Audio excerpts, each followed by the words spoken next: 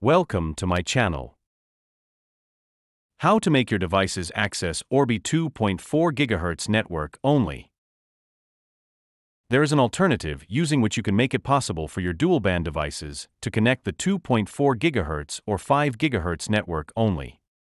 For this, you need to complete Netgear Orbi login from a device connected to the Orbi network and follow instruction. Select Advanced, then click Wireless Settings. This will open the Advanced Wireless Settings page. You can uncheck the box labeled Enable SSID Broadcast under the Advanced Wireless Settings 2.4 GHz or 5 GHz section. This will turn off SSID broadcast for one of the frequency bands. Save the changes.